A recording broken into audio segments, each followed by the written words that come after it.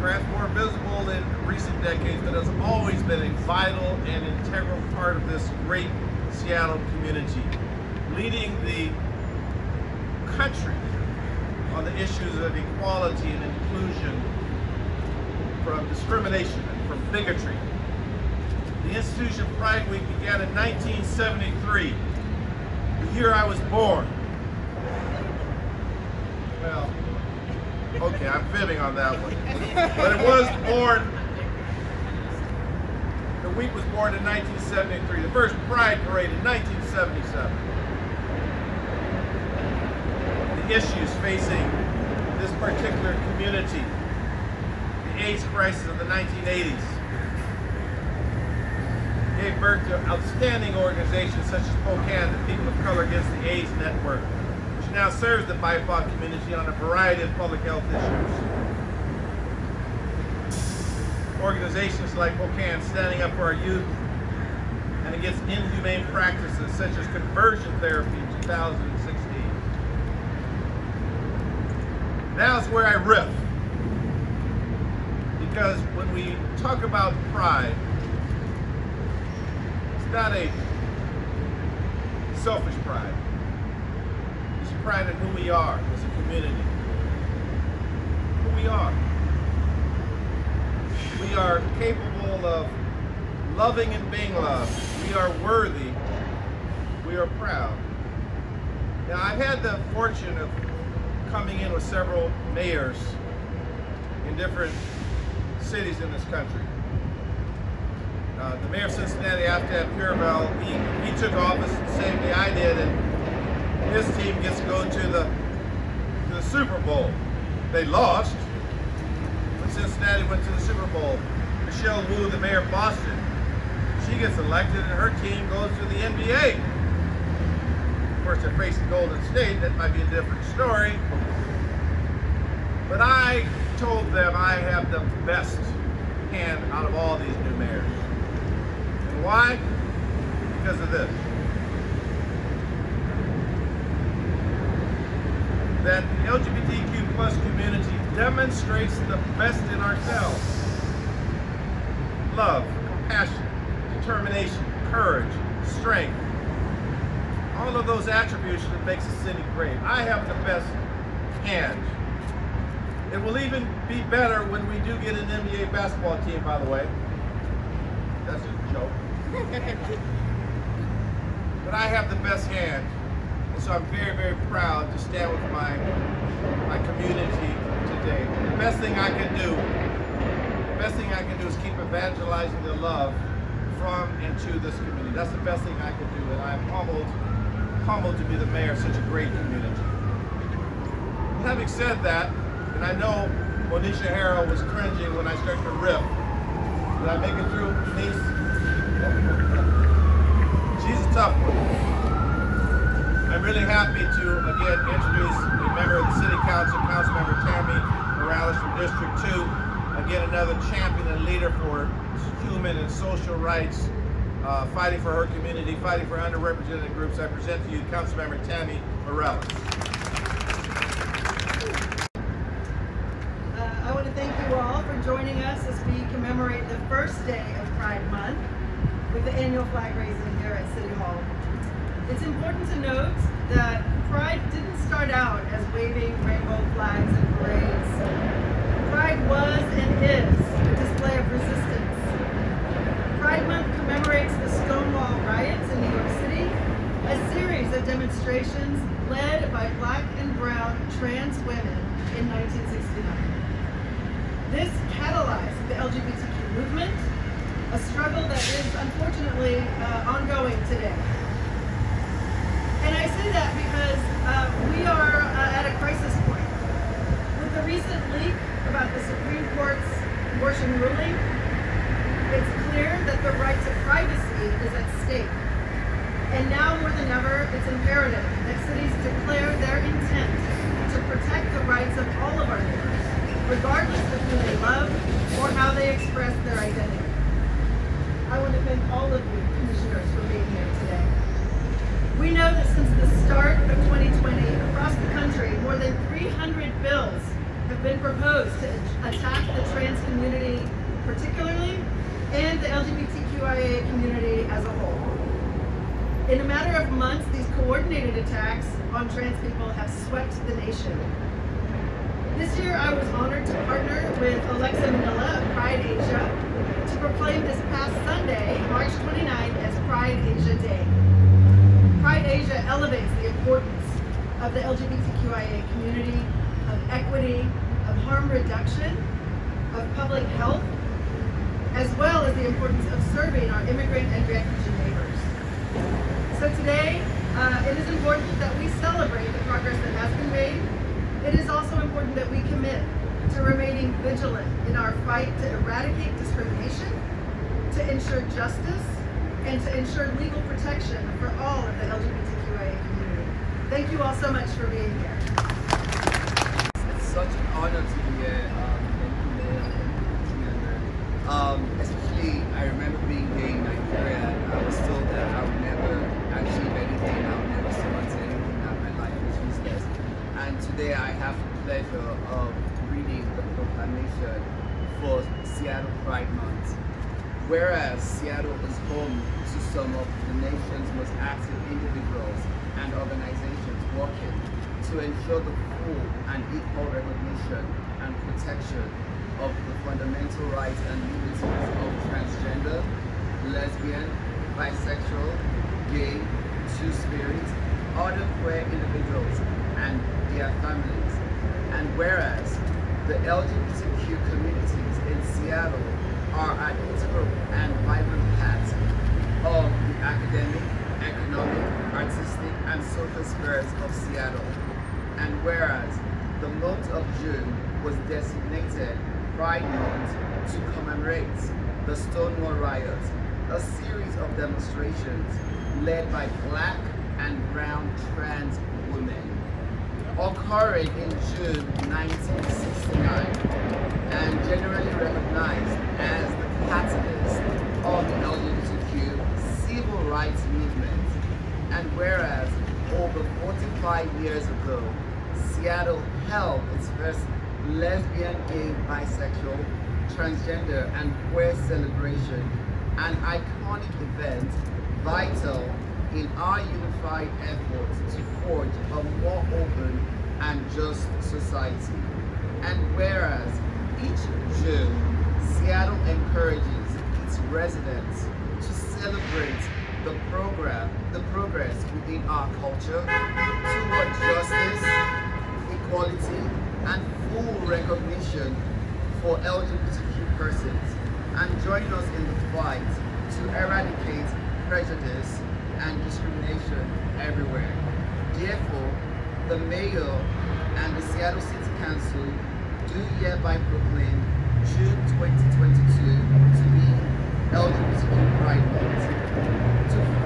The fight to eradicate prejudice and discrimination everywhere is one that the Seattle LGBT Commission is working hard on. We invite the Mayor's Office and the City Council to partner with us to increase our community's access to high quality medical care, housing, and safe communities. Data shows the members of the LGBT plus community are disproportionately impacted by poor mental and physical health care. For example, according to the 2015 US Transgender Survey, trans people are nine times more likely to have attempted suicide than the general population our community and community partners, we call on them to increase funding for mental health services, housing, food, and queer community groups, and to develop plans to increase the community's competence among the city's health care. About him, uh, the mothers of pride, parents of pride, fathers of pride, instigators of Stonewall, Compton Cafeteria, and other movements across this country. I honor all of our LGBTQ, Two-Spirit, and gender diverse ancestors who were a steady hand of resistance that brought us our first wave, just the first wave of queer and trans liberation in this country. Together, let's remember them this month and be inspired by their stories, but let's also remember that we still have a long way to go. With the recent legislative and political attacks on trans youth, the use of trans bodies as a wedge issue by politicians and the continued violence against trans people, especially black trans women, I want to name how important this pride this year, 2022 is. These attacks are coming for youth, especially for black trans girls and women, but they will not stop here. Let's get it, let's not get it twisted. These attacks are attacks on all of our bodily autonomy. These attacks are intended as strategic disruptions to both LGBTQ and gender justice rights. These rights were hard earned, and we are not just gonna let them go. I ask us to remember that this pride and every pride following the uprising of the summer of 2020 will forever be tied with Black Lives Matter.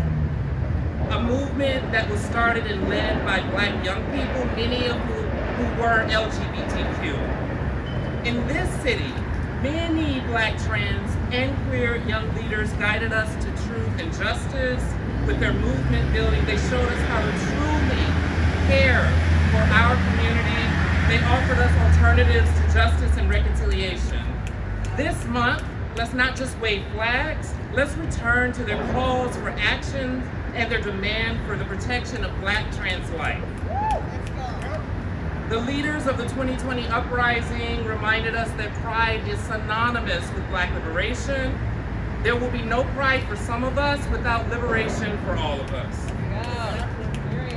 Don't get it twisted though. This month we are going to celebrate the magic and beauty of queerness, transness, intersexness, two-spiritness, blackness, we're gonna show the world. But like black folks and my ancestors and grandparents and great-grandparents have always done, we will fight on one hand and celebrate on the other. We know how to hold joy and resistance together. We will find joy in the larger-than-life stories of our ancestors, Sylvia Rivera, Marsha P. Johnson, Miss Major, Stormé DeLarverie, and so many others. We, like them, will lead with our humor, our shade, our sass, and our creativity. However, in the refrains of our laughter, we will continue to organize and be ready to resist this current wave of transphobia and transmisogynoir facing our community. We will remember this month who got us here in the first place, and we will continue to lift black, trans, and non-binary leadership. We will celebrate them this month. We will dance hard. We will play harder, but we will remind the world that black trans lives matter, trans lives matter. We will tell the world we aren't going anywhere. We will tell those hostile to our community to keep your hands off of our trans and non-binary youth. Let's celebrate today in the spirit of Mother Marsha, but let's resist also while we celebrate. Thank you. At FEEST, we create liberatory spaces for low-income and BIPOC youth to imagine and express the changes they want to see in their schools, while also building the power and skills for BIPOC youth to become decision makers over the health equity issues that impact them the most. We believe that you should always be at the center of decisions that impact their lives as they are the experts of their own experiences and hold the keys to solutions that will work best to address their needs. At FEEST, we know it's crucial to train young people in organizing skills so they can keep our collective movements for justice alive and growing for decades to come.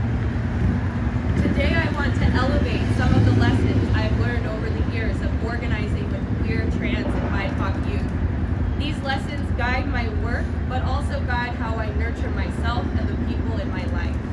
They help me think about how we hold complex feelings of celebration alongside our grief and outrage at ongoing current events. One of the first things that youth showed us during the pandemic is that we cannot carry on with business as usual, especially in times of great grief and loss.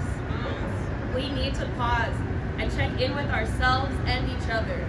We need to make sure that we are good and that our people are good. We need to prioritize our health and wellness so we can continue to fight for greater systemic change over the long haul.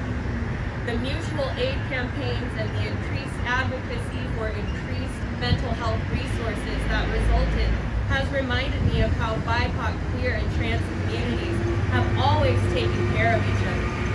Have existed and persisted in resistance throughout history. When we live our truth, we make way for others to do the same.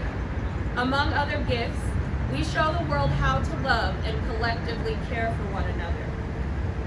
The role of joy and celebration is often underrated in social movements. Organizing for systemic change takes years and even decades. So how do we sustain the energy we need to fuel our movements, especially amid unyielding intersectional crises? While there's not just one answer, I know that joy and hope are necessary to keep our movements viable. Last week, as I grieved for victims and families of Buffalo, Uvalde, and the ongoing violence against black and trans communities, my hope was challenged to core. It seemed like some divine intervention that I had the privilege of being mentored by an incredible organizer and author named Mariame Kaba. She's one of the most prolific thoughts on hope that I've ever heard. She said that hope isn't an emotion, it's a discipline. We must practice it every day. In FEEST organizing trainings, we talk about hope as a muscle. And like any muscle, hope must be exercised. While discussing how to cope with friends, I wasn't sure what I had to offer because I was deep in my own grief. But as we touched on the thought of losing hope, my muscle memory kicked in. My response was this, becoming bitter and becoming complacent is the antithesis of who we are. Be yourself, feel your feelings, but most importantly, don't let anyone or anything stop you from expressing the love and optimism in your heart. Your love is a gift. And as many years as we and our ancestors have gone through hell, we are still here. Keeping hope alive is not just who we are, it's what we do. Another lesson I've learned from you is about centering radical joy. Find affirmation, connection, and joy in spaces that were not historically created for us, and this is a monumental act. Especially on this holiday of pride, that is at times complex and sometimes co-opted. The ways we care for our community and envision a better future are the truth.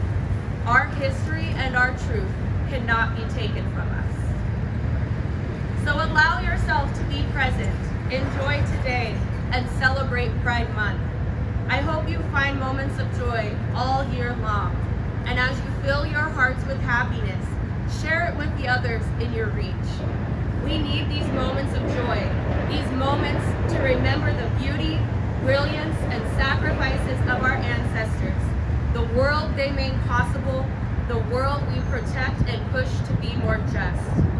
We are our ancestors' wildest dreams embodiment of resilience. May the positivity we generate fuel our ongoing fight for justice in the years to come. Thank you.